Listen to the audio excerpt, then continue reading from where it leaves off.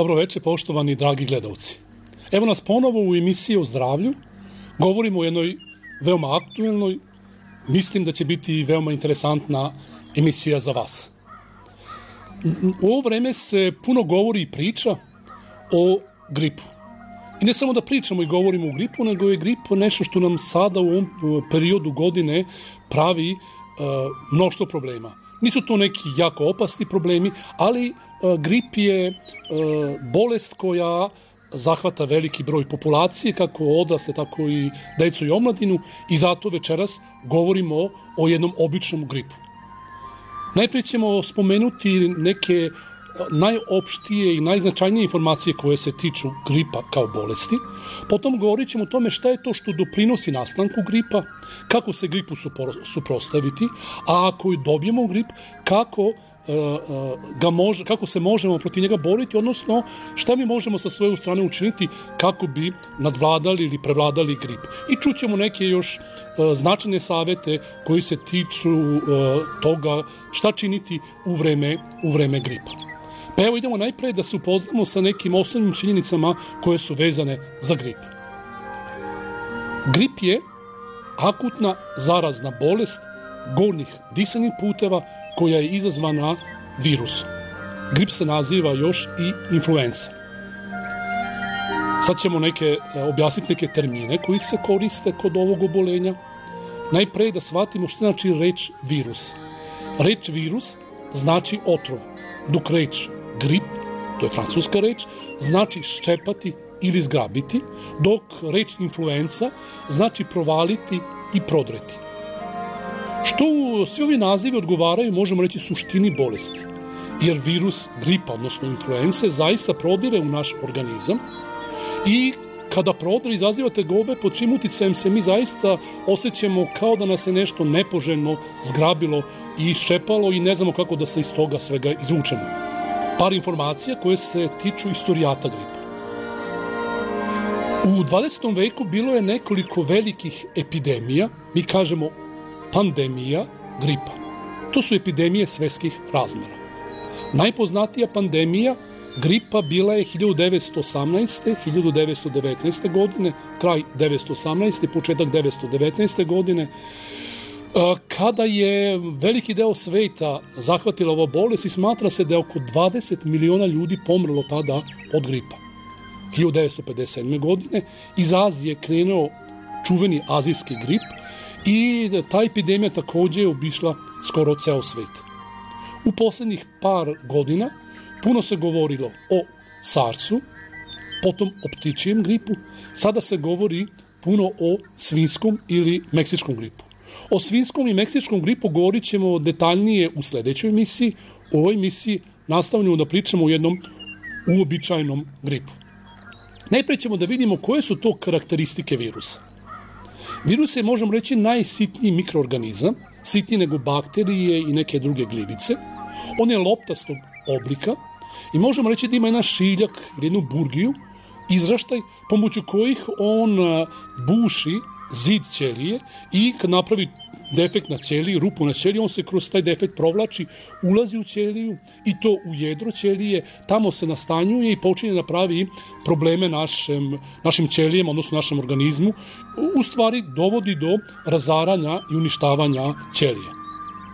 Važna informacija koja se tiče, tiče virusa gripa, a i ostalih virusa je ta da je da su antibiotici upravo zbog ovog svojstva virusa nedelotvorni.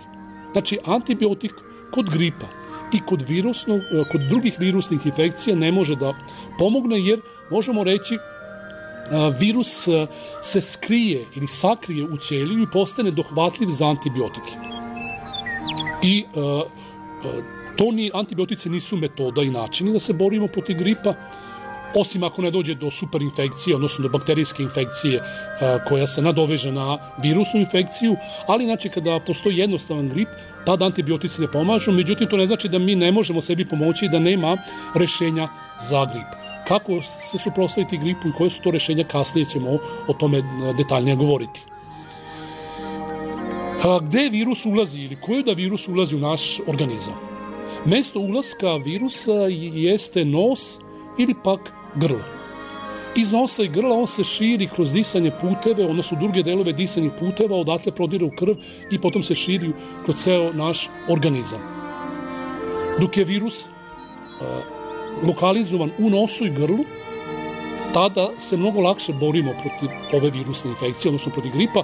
Kada on prodre u krv, tada već e, borba protiv gripa je malo teža i treba nam više vremena da ozdravimo i da se oporavimo. E, kada grip prodre, kada virus gripa prodre u krv, tada se e, javljaju takozvane opšte, opšte tegobe. To su povišena temperatura, glavobolja, slabost, malaksalost, bolovi u mišićima, uh, gubitak apetita, čovjek se osjeća kao da je pretučen i kao da je na neki način uh, izudaran i kažem kada se te tegobe pojave to je znak to je znak da je da je virus već uh, prodro u krv i kažem tada nam treba malo više vremena i napora da bi nadvladali grip. Uh, rekao sam da su disani putevi, to nos i grlo, mesto ulaska gripa. Ako je u nosu, on se širi iz nosa u, putem uh, suznog kanala u uh, očnu duplju, odnosno izaziva konjunktivitis, suzenje i vlaženje očiju, peckanje u očima, uh, curenje iz nosa. Kada dođe do grla, tada izaziva grebuckanje u grlu, osjećaj nekog stranog tela, stalno nam nešto nam, nešto nam grlo nadražuje, mi to ne možemo da, da izbacimo, ne možemo da se oslobodimo tog nadražaja u grlu. Uh, virus uh, gripa, on pravi defekte na ćelijama uh, disanih puteva, odnosno na sluzokoži disanih puteva, ta sluznica je izranjavana, odnosno postoje defekti i to se manifestuje suvim kašljom koji dovodi do bola tu negde u tim gornjim disanim putevima, a takođe i do bola u disanju muskulaturi koja, koja mnogo više radi i zbog kašlja se na neki način ta muskulatura e, zamara. Organizam pokušava da te defekte koji su se pojavili na sluzu koži disanih puteva da zamalteriše pojačanim lučenjem sluzi i zaista to će vremenom organizam i uspeti da uradi, ali tada se pojavljuje jedna nova tegoba, to je e, kašalj sa iskašljavanjem. I kada se pojavi kašalj sa iskašljavanjem, to je već znak da je, bolest, da je organizam dosta toga uradio u zaciljivanju uh, gripa i da bolest ulazi u drugu završnu, završnu fazu. Uh, napomenuo sam da kada virus prodre u organizam, da tada u tom trenutku celo, celo naše telo se osjeća nekako slabo, malaksalo, imamo osjećaj kao da nas je nešto teško pregazilo. Pa evo, to je i prilika sad da spomenemo koje su to ključne manifestacije gripa ili šta je to što mi osjećamo i koje su to tegobe koje se javljaju u toku gripa. Najprije treba da spomenemo da inkubacija, a to je period od infekcije do pojave prvih tegoba, odnosno simptoma, traje oko dan-dva. I nakon toga javljaju se prvi početni simptomi. To je curenje iz nosa, vodnikavog sekreta i e, suzenje očiju, grebanje u grlu i suv kašalj. Jako je dobro da terapiju, o kojoj ću govoriti kasnije, primenimo u ovoj početnoj fazi bolesti. Ako tada, ako u ovom trenutku mi reagujemo, tada za dan, dva mi možemo da rešimo se problema gripa. Ako čekamo da on produ krv, tada ćemo, kažem, imati mnogo više muke da pobedimo u gripi i treba će nam sigurno 5 do 7 dana da ga na neki način da ga se oslobodimo. Virus gripa izaziva i povećanu temperaturu koja se kreće negde oko 38 stepeni, može da ide i preko 39 stepeni, Zatim, treba reći da bolest traje negde oko 7 do 10 dana i tada obično organizam uspeva da pobedi gripu. Međutim, mogu se javiti i komplikacije, one se javljaju ako je imunitet obolelog slab ili pak ako osoba dobije grip, a ne miruje i ne primeni nešto u smislu terapije gripa. Koje su to najčešće komplikacije gripa? To je upala pluća, na koju treba posumnjati ako nakon 5 do 7 dana ne dođe do ozdravljenja, nego pak dolazi do pogoršanja bolesti. Najčešće temperatura bude još veća, pacijent se osjeća još više iscrpljeno i tegobe se još, više, još intenziviraju i to je znak da je došlo do komplikacije i tada treba obavezno se obratiti, obratiti lekaru. Kod male dece najčešća komplikacija jeste upala srednjeg uha zato što virus iz nosa putem eustahive tube, kanalića koji spaja nosnu duplju sa srednjim uhom, virus kroz taj kanal prodre u srednje uho i proces zapalenja i bolesti se preseli i na ovaj organ. E, tada temperatura opet naglo skoči, e, javlja se intenzivna glavobolja i bol u uhu koje je, koje je zahvaće, zahvaćeno upalom. Obično malo dete se hvata za, za e, tu stranu glave i uha koje je, koje je obolelo. Ređe komplikacije gripa su upala srčanog mišića, ako je, pogotovo ako je uzročnik gripa koksaki B virus, mogu da se jave neke druge upale, recimo gušterače, odnosno pankreasa, može dođe do upale moždanih ovojnica, kažem, to su ređe komplikacije, ali one se mogu pojaviti.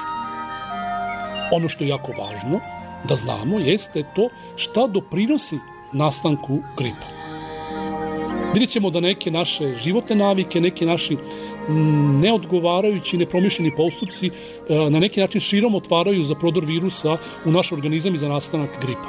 Pa da se upoznamo koje to najčešće naše greške iz životnog stila doprinose nastanku gripa.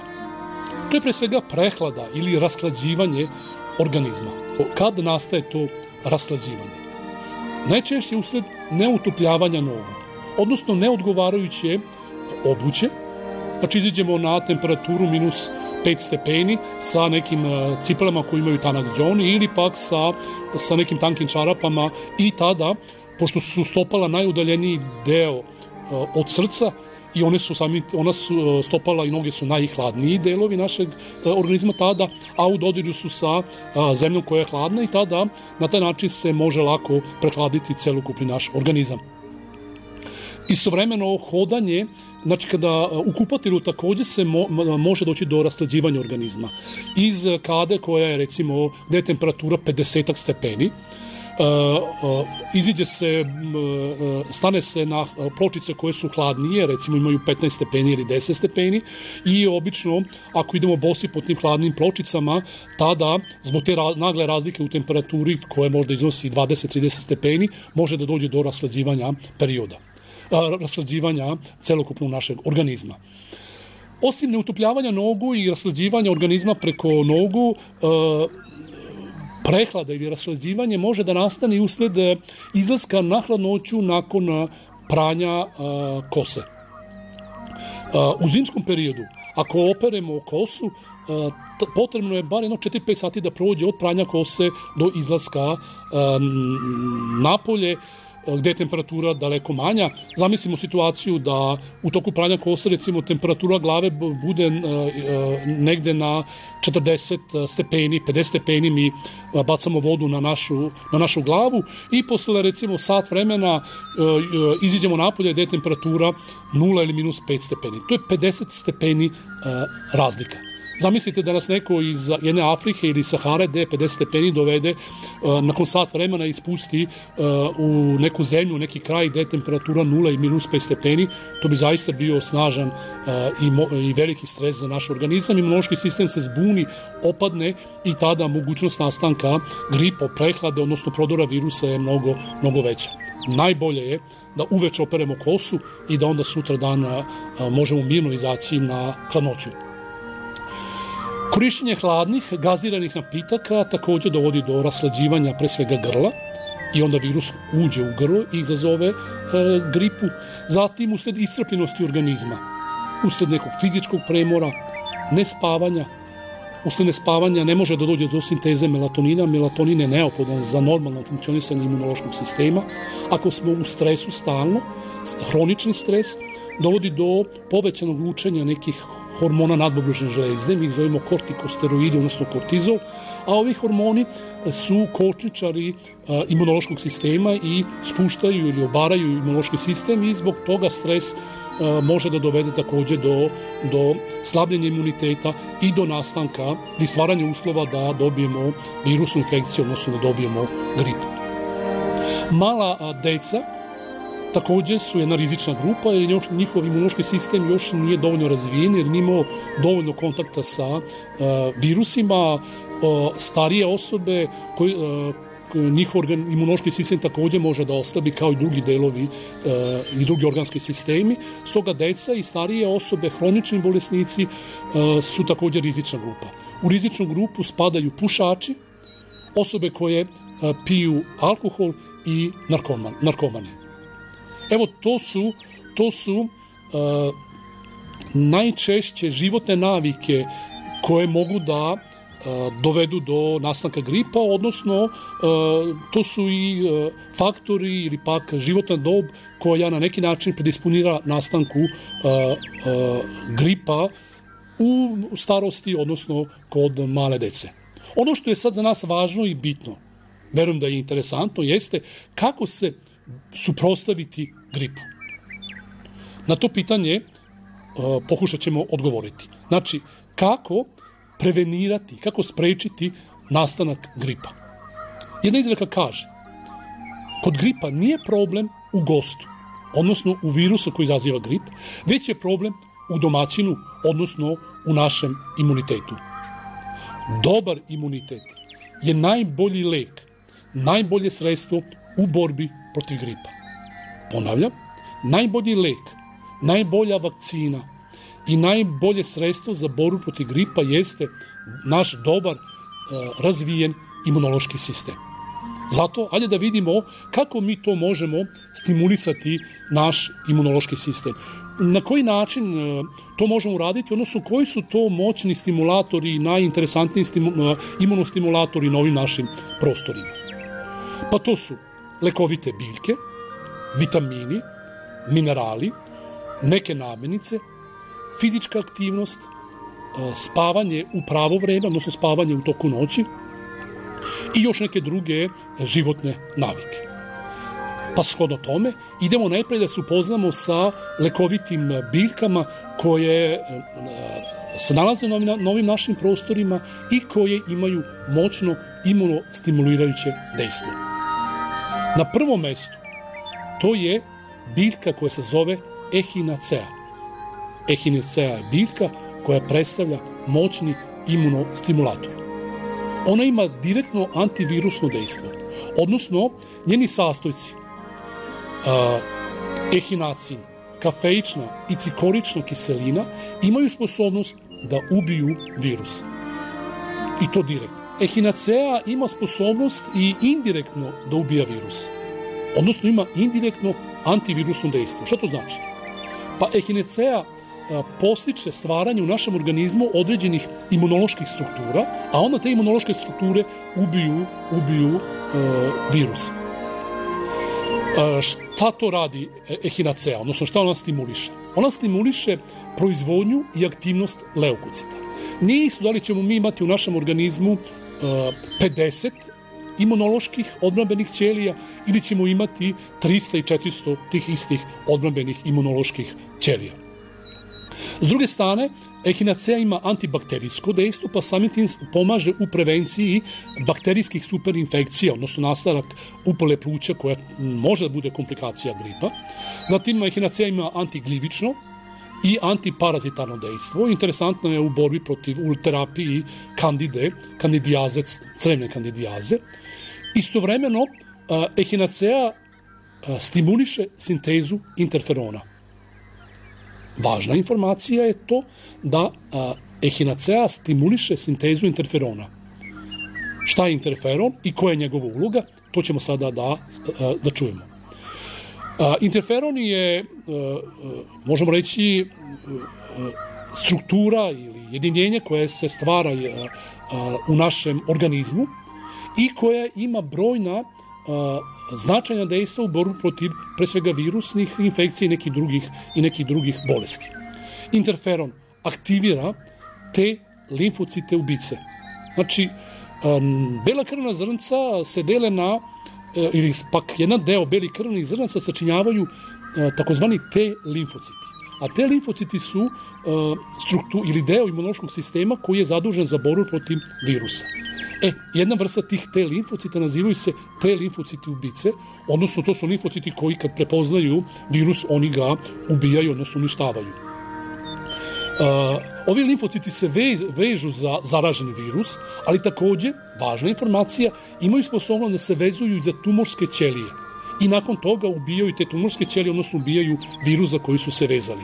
Stoga, ehinacea ima mesto i u prevenciji i u borbi protiv tumorskih, nastanka tumorskih ćelija. Interferon sprečava razmnožavanje, odnosno mi to kažemo stručno replikaciju virusa i samim tim pomaže u zaustavljanju infekcije. Napomenuo sam da interferon, pa samim tim i hinacea koja stimuliše sintezu interferona, ima sposobnost da uništava tumorske ćelije i sprečava razmnožavanje, odnosno proliferaciju tumorskih ćelija. Kako se upotrebljava ehinacea? Ehinaceo možemo upotrebljavati u obliku kapi, sirupa za decu, čaja ili tableta, odnosno kapsula. Ehinacea je netoksična biljka, poneki put, vrlo redko, može da zove neke stomačne tekobe poput neke mučnine, proliva, postoje kontraindikacije, to su određene autoimune bolesti, kao što je sistemska, kao što je tuberkuloza pluća, zatim multipla skleroza, HIV, maligni limfomi, kod njih ne bi trebali da uzimamo, kod ti bolesti ne bi trebalo da se koristi ehinacea. Ehinacea ne treba se koristiti duže od mesec i po dva dana, bez prekida. Ako pijemo znači, jedno 40-50 dana, potrebno je da napravimo pauzu jedno 2 do 3 nedelje i onda se može ponovo preventivno koristiti. Ehinacea može se koristiti i u uh, samoj terapiji grip, odnosno kada osoba dobije grip, ehinacea takođe se može onda koristiti. Kako? To ćemo kasnije vidjeti. Osim ehinaceje, uh, imunostimulirajuće deluje i cvet zove, odnosno sambuci flos, to je latinski naziv. Znači, cvet zove nam pomaže u prevenciji nastanka gripa. Zašto? Zato što zova sprečava prodor virusa u ćeliju. Kako to čini? Ja sam napomenuo da je virus ima neki ima otprilike loptasti izgled i onda ima jedan šiljak pomoću koga on buši ili pravi rupu na, na, na zidu ćelije. E, sastojak jedan sastojak zove, jedna aktivna substanca koja ulazi u sastav zove, ima sposobnost da slikovito rečeno slomi bušilicu virusa, usled čega on ne može da prodire u ćeliju, niti da se razmnožava i šta? Preostaje mu samo da ugine, odnosno da iščezne iz našeg organizma. Zova postiče i naš imunitet, odnosno sintezu, sintezu e, limfocita, i shodno tome u Velikoj Britaniji u Americi uh, od zove se prave određene tabletice, odnosno kapsule koje su poznate i koje narod u širokim masama koristi baš u cilju prevencije i terapije virusnih infekcija, konkretno, konkretno gripa. Uh, zova takođe olakšava uh, iskašljavanje, odnosno pomaže kod suvog kašlja i dovodi do pojačanog znojenja i samim tim olakšava tegobe gripa. Aktivni lekoviti sastojak koji ulazi u sastav zove jeste a, antocijan. To je lekovita substanca. Antocijan, ona je ta substanca koja ima spomenuta lekovita dejstva.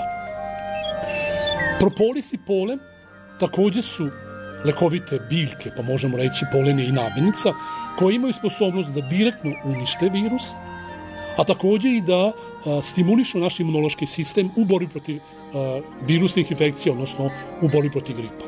Zašto? Pa zato što polen a i propolis sadrže određene vitamine, minerale i enzime koji su moćni stimulatori imunološkog sistema, a istovremeno imaju sposobnost direktno da unište virus. U borbi protiv virusa, odnosno u prevenciji nastanka gripa, osim lekovitog bilja, mogu nam pomoći i određeni vitamini i minerali. Pa je da se upoznamo sa vitaminima koji nam pomažu u borbi protiv gripa. To je vitamin C, koji ima sposobnost da uništi virus dok se on nalazi u cirkulaciji. Znači, kada, se, kada virus uđe u cirkulaciju, tada vitamin C ima sposobnost da ga uništi. Vitamin C stimuliše proizvodnju odbranbenih ćelija, koje potom ono uništavaju virus, ima sposobnost da neutrališe i eliminiše toksine koji se e, stvaraju u našem organizmu pod uticajem virusa, odnosno pod, uticajem virusne infekcije. Ovaj virus mi možemo da unosimo i u obliku tableta, još bolje da ga hronično unosimo putem određenih e, namirnica i biljaka. Prirodni izvori vitamina C u ovom periodu su paprika, pečnov list, kivi, limun, grejf, naranđa, kiseli kupus, jabuka i veoma interesantan recimo je čaj od šipka koji se priprema, priprema tako da se šipak stavi u mlaku vodu, stoji nekoliko sati, recimo 4 do 6 sati, taj šipak stoji u mlakoj vodi, potom ga procedimo, imamo jedan veoma ukusan napitak koji možemo zasaditi medom i taj napitak je prepun vitamina C. Osim vitamina C i vitamin A ili beta karoten takođe pomaže u borbi protiv uh, virusnih infekcija. Zašto? Uh, slikovito rečeno, vitamin A, odnosno beta karoten, na neki način čini sluzokožu disanih buteva blindirano, neprobojno za prodor virusa. Virus može da uđe u disanje cevi, u disanje puteve, ali zahvaljujući beta karotenu, odnosno vitaminu A, on ne može da probuši, ne može da probije, probije uh, zid ćelije, odnosno sluzokužu i ne može da uđe u organizam i da zazove onda infekciju. Smatra se da je, je beta karoten, odnosno vitamin A, da on ima sposobnost da stimuliše antitela i još neke druge imunološke strukture koje inače se nalaze u povećanoj koncentraciji upravo u sluzokoži disanih puteva, a takođe i u drugim delovim, drugim sluznicama našeg organizma. Beta karoten je moćan antioksidant, a takođe i stimuliše e, imunološki sistem e, e, za povećanu proizvodnju odbranbenih ćelija. Vitamin A ili beta karotin se nalazi u šargarepi, cvekli, bundevi, krompiru, u žuto crvenkastom voću, jer on taj koji daje crvenkast, žuto crvenkastu boju i tamno zelenkastu boju voću i, i povrću. Nalazi se u smokvama, grejfu, naranđi, soji, pasulju, E, kupusu, kelju, karfiolu, spanatu, blitvu i u zelenoj salati. To su izvori vitamina A, odnosno beta-karotena.